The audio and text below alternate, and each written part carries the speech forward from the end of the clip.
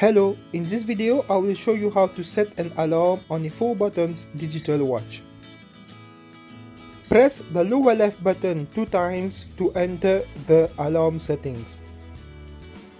Press on the upper right button to set the hour for your alarm. Pay attention to A and P on the screen to know if you are setting for the morning or for the afternoon.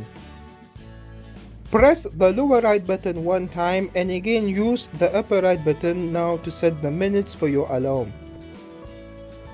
Press the lower left button one time to exit the settings.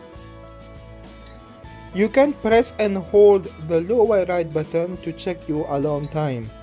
Thank you for watching this video and please subscribe to my channel.